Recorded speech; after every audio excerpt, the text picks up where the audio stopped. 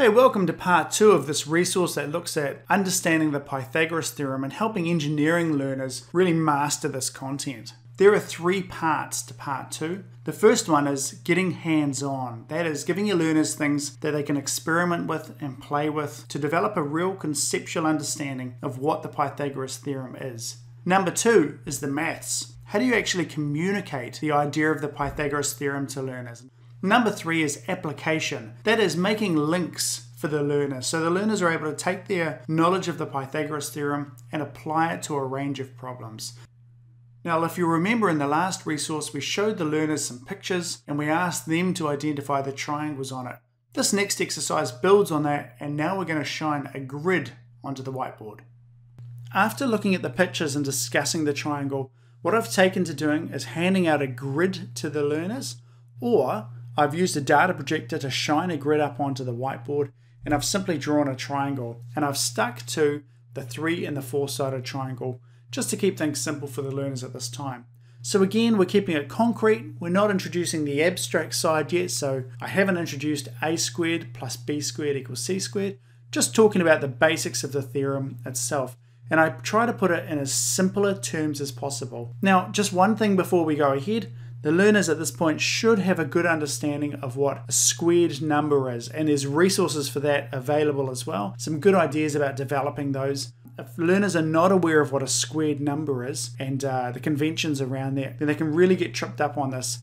Often they think the exponent is what they times a number by, uh, but you can avoid all of that confusion just by running through uh, very quickly a resource around squaring numbers. But if that's in place, then I simply try to make this as easy as possible. And I say, look, the Pythagoras theorem simply says this. If you turn one side into a square, for example, if we take the side that has four squares, so we square it, 4 squared equals 16, and we square the other side as well, 3 squared is 9, then the total area of those two squares will equal the hypotenuse squared. And I try to make it as simple as possible. Again, the squared hypotenuse is equal to the other two squares put together. And at this point, I'll hand out a cardboard cutout and I'll have learners prove that it is so.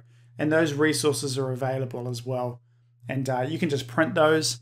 Okay, you can let the uh, learners cut them out themselves, or you can stay up in the evening and cut them out, or bribe someone to cut them out. But they're well worth the time. You just can't beat letting your learners get hands on with content. Now, what you see on the screen here is available as a PDF, and simply put, it's a diagram that when you cut out will help you prove to your learners the Pythagoras theorem. The idea is you hand out this sheet to your learners and they cut it out themselves. Now what we really want to do is we want to make the point that a squared plus b squared equals c squared. And this is where we really begin to introduce the mathematics. You get the learners to cut out each of the squares in a and b and then begin to place them onto the c squared. And the idea is that they fit perfectly. And so the learners are proving to themselves that a squared plus b squared really does equal c squared. So they don't have to take it just as a matter of authority or a matter of faith, but they can really see that it actually does work. It takes a while, but it's well worth it. And as you can see there, they do fit perfectly, and you really want your learners to discuss this talk about it with each other. So I have learners discuss that and talk about it. I also have them in like a peer share explain to each other exactly what the Pythagoras theorem is and what it means and can they put it into their own words let this settle for a long time because again we're building that concrete understanding before we go to the abstract. The next step I take is to begin to make it more authentic. Now this may not look like an authentic task but actually it is.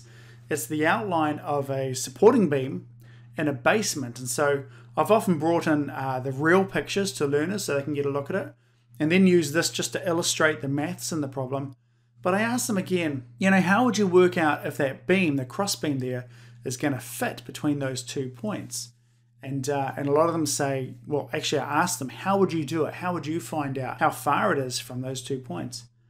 The learners often say things like, well, I'd measure it. I'd get the measuring tape, I'd put it at one corner and go to the other and work out what it is. And I asked them whether they'd get somebody to hold the measuring tape at that end or, or exactly how they'd do it.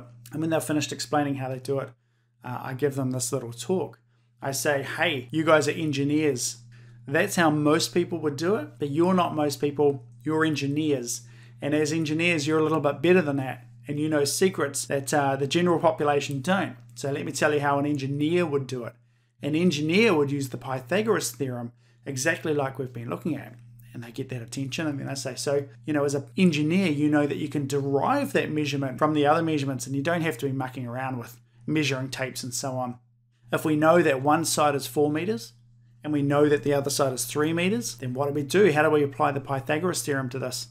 And uh, and some classes, of course, will make the link immediately to the other material we've just been looking at, and for others, it won't be so immediate. So again, I hand out a uh, grid and I ask learners to trace it in, and we just talk through it again. Four meters, we'd square the four meters, and that would give us 16.